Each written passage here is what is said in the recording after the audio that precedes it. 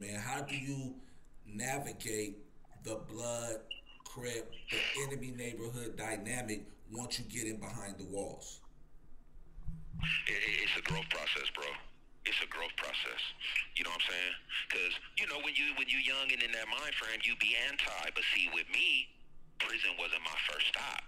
I didn't went through basically the preschool, kindergarten, and all that, which is juvenile hall, campo, YA. So I already know the MO kind of, you know, the respect line that comes with this shit.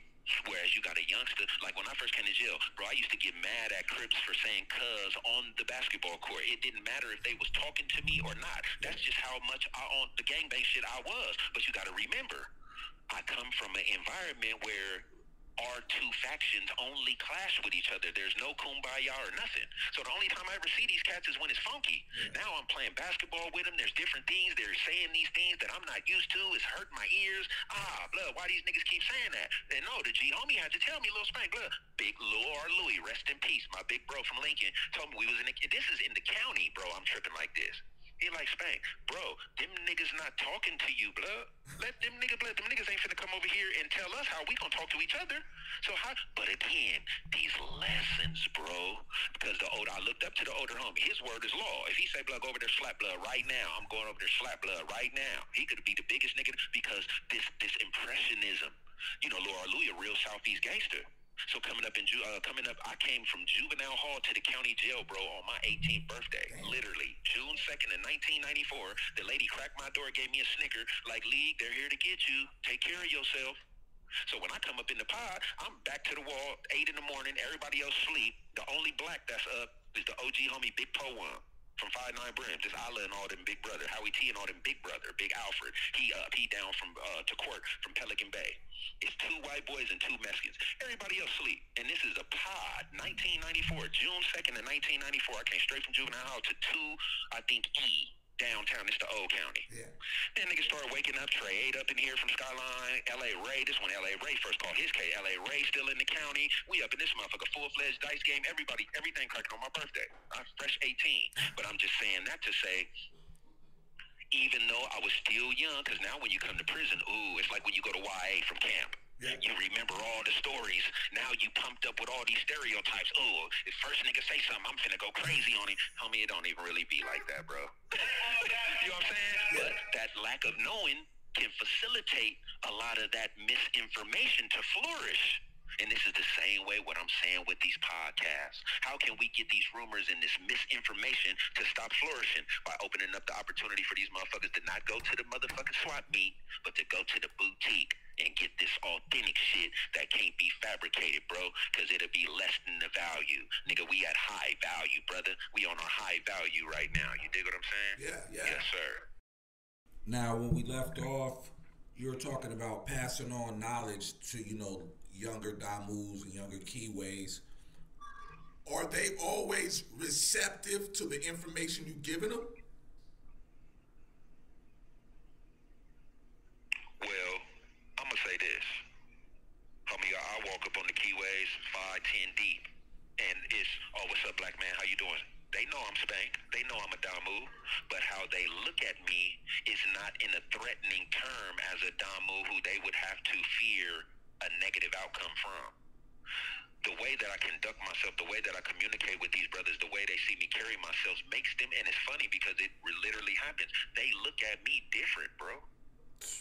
So by them looking at me in that different way, I would like to also believe, and maybe I'm romanticizing, but that they also internalize the thing I have to say from a different perspective, other than maybe another Damu. You dig what I'm saying? Mm-hmm. You know, because I don't, you know, and, and I'm 100% real, homie. I don't want people to think that I walk around this yard super blooded out, sag, and every other word is beat. No, don't think a little spank booty like that, bro, because you're going to be in for a rude awakening if that's what you expect. No, homie, I'm walking around this motherfucker, pants pulled up, my African medallions on, on some positivity. But now motherfuckers know they initiated, like I said, that table, everything ain't for everybody, bro. Even in this gangster shit, a lot of these youngsters ain't gangsters. They're followers. They're imitating gangster uh, uh, mannerisms, and that's okay because they're young. They still haven't identified and got that self knowledge yet. And hopefully, this penitentiary experience is a pathway to that, homie. a lot of times it be a pathway to more criminal ways of thinking, a more exacerbated aspect of gang banging, that hatred and everything. But hopefully they bump into an old Damu nigga like me, it might kind of change that trajectory. Like, damn. I just bumped into a nigga. I've been here since September 11th. I just bumped into a brother yesterday when I told him I'm finna be 48. He was like, Spank, you ain't that old, nigga. I've been seeing this brother on the yard every day for the last, what's that, six months damn near? Yeah. You feel yeah. what I'm saying? But it's because I think sometimes when they think of an older brother, it's more anti, kind of play the wall, not really too conversative, you know, conversive with the youngsters. Me, I'm in there, I'm busting down, I'm talking the talk, but I'm speaking it from a different perspective as well. So now they look at me, they're like, oh, this nigga young. Yeah. But then when I tell them, then they kind of, oh, no wonder. This nigga damn near 50. No wonder he on the black shit. But it still matters because I'm not on it over there. I'm on it in the middle with you little blood and crip niggas and the little Bay brothers and trying to get it together. And you know, I be trying to catch myself when I use that N word because Yeah. again, just like I was saying with the expectations, it's checks and balances. Bro, it's a lot of my elders, bro, the one I had you call too, my elder Samaki, is brothers that are gonna be listening to this because the public don't know them. Let's just say when we talk about the youth, the public, those who are out and about right now, what we call outside, they don't know these cats. But in terms of my being outside, these cats is absolutely instrumental in the way I'm outside today. So I want to make sure that in that transition of how I'm outside today, they see themselves and their teachings represented in a positive way. You feel what I'm saying? It matters to me when Samaki or Fatih or my bro Lil TK or my mama listen to this, bro. I wonder what they gonna say because they the ones that matter. You feel what I'm saying? Yeah, yeah. in, in the overall scheme, when when I holler at my OG homie TP or somebody, uh, Terry Patrick, Terry Boy, and I ask them, big homie, did you listen to that? What you think? You know, they all, boy, you always been smart, boy. Keep that shit up. You feel me? Yeah. But it still matters to me, homie, because there's so many repres- there's so many people represented when the public see Lil Spank, homie. Ooh. And a lot of times maybe they don't understand that. Like, bro, I got the whole Lincolns that sometimes can be represented with certain things I say because the wrong kind is, uh, for all intents and purposes, people associated, even though that's not what it's for. We know we got the wrong kind, Ingles, New York, everything, but what it's associated with is Lake Park, Mitchell Slick Bloods, point blank, period. It's a lot of Mexicans that see me and be like, oh, what's up, Lincoln? And throw up Lincoln to me. I don't correct them. I toss the L back. Yeah. Because it just lets you know how synonymously I'm represented even with the Lincoln homies. So now that's a whole nother dynamic of representation. Because now guess what? Niggas bumping the slick. Oh, you fuck with Lil Spank? Oh, blood, that nigga was on the yard getting slapped and all kind of weird ass shit. Mm. Now, you know, that's going to make Slick look bad. Feel me? So the representation is even with my mama.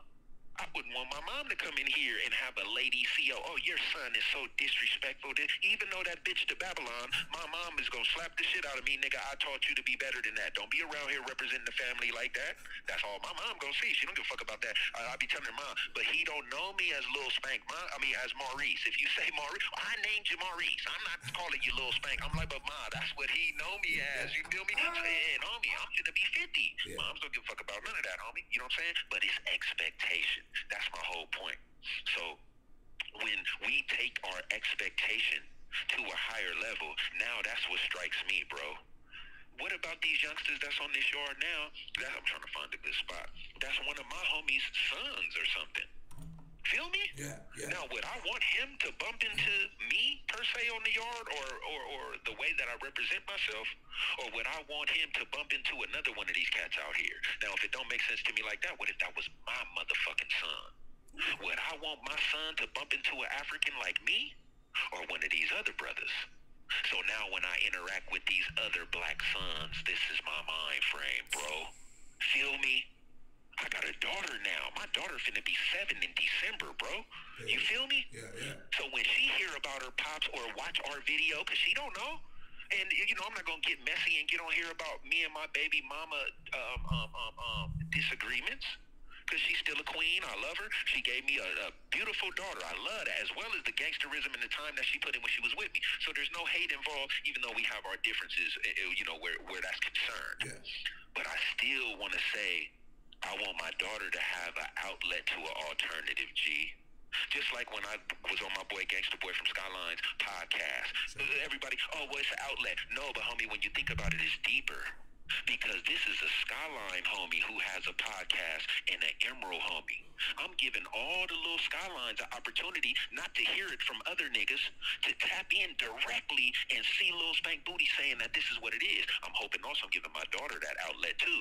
Well, I heard all this. You didn't want to. No, baby, I think about you. I love you. Magi, I teach I named you. Don't worry about that because you needed to go through that with your moms because if you didn't, y'all wouldn't have put you in that position. Feel me? Yes, we got to yes. start looking at it from a spiritual level. Especially if we don't, if we really believers, then nothing is coincidence, bro. Everything happened for a reason.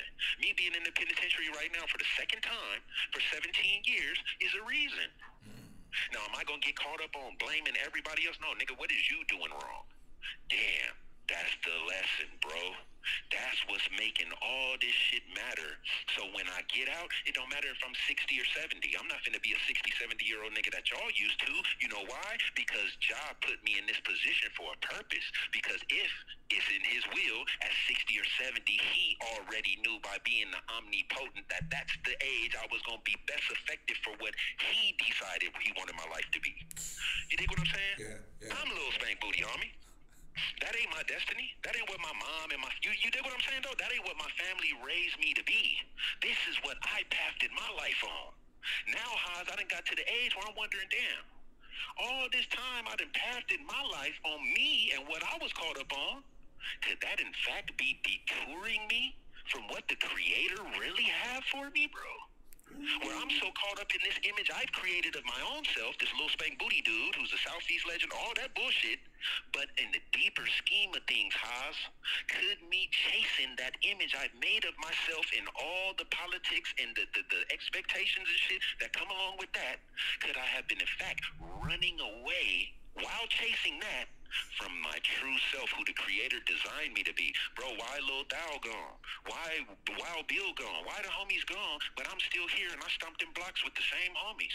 Why when I called Slick, you was on the phone? Like, bro, we need to do this. Bro, it got to be something bigger at work. I just got to play my position. Hey. And this call over with too. They finna do yard recall, bro. Okay, so hit, hit me. I could call back though on the regular call. Yeah, yeah, hit me on the regular joint. Okay, for sure. I'm gonna do that right now. Peace, peace. All right, bro. I love you. I love you. Peace, peace, peace. All right, bro.